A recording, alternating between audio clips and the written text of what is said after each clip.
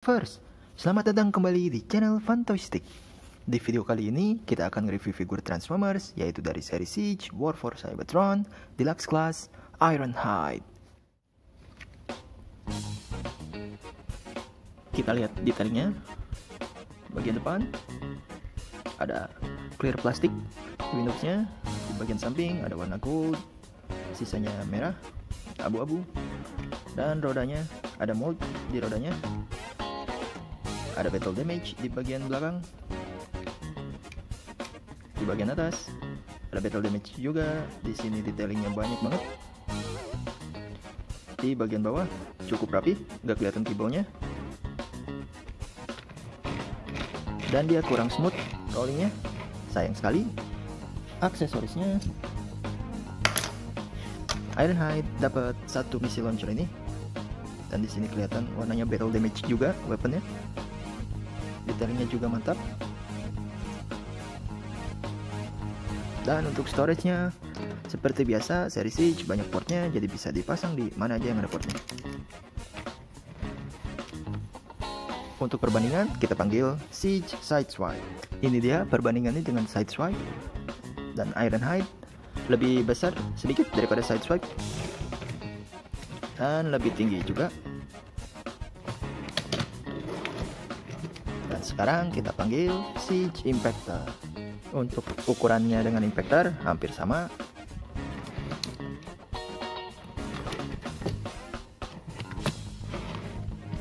Oke, segitu aja untuk perbandingannya Hilavers. Sekarang saatnya transform.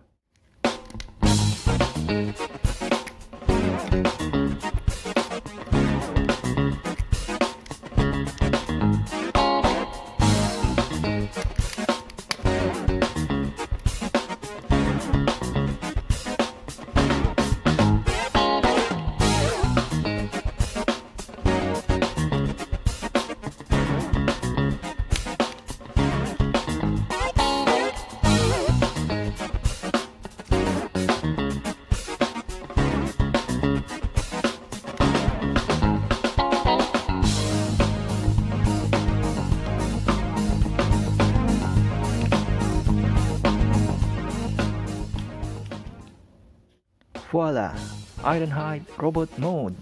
Dan sekarang kita lihat detailing robotnya. Kepalanya klasik banget. Mirip dengan jiwanya. Mukanya silver, matanya biru. Di bagian tangannya banyak detailing. Bagian chest piece-nya ada clear plastik dan bisa kelihatan di dalamnya warna silver juga. Bagian kakinya ada battle damage. Saya kurang suka battle damage-nya. Dan kelemahannya uh, panel yang di samping ini gampang banget copot. Bagian belakang. Kelemahannya juga banyak bagian yang hollow. Artikulasinya kepalanya bisa muter full 360 lihat ke atas ke bawah sedikit. Tangannya full 360 in and out. Ada double joint swivel elbow joint wrist joint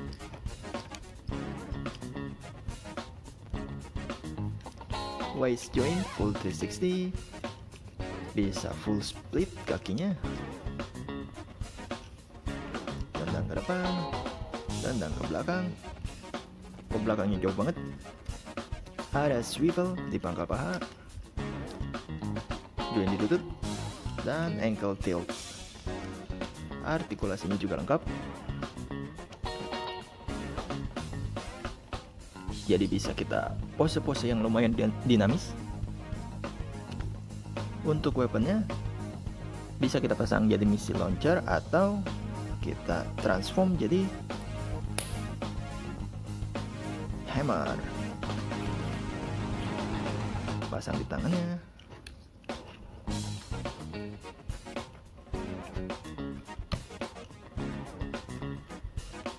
Dan keren mode hammernya saya lebih suka mode hammernya dibanding jadi missile launcher. Dan sekarang untuk perbandingan robotnya kita panggil lagi si Sideswipe. Ini dia perbandingannya dengan Sideswipe dan bisa dilihat Ironhide itu lebih besar daripada Sideswipe dan sekarang kita panggil lagi Impactor.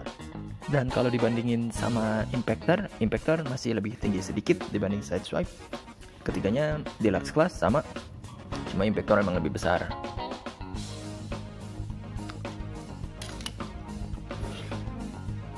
dan kesimpulannya untuk figur ini Ironhide outputnya lumayan bagus rapi.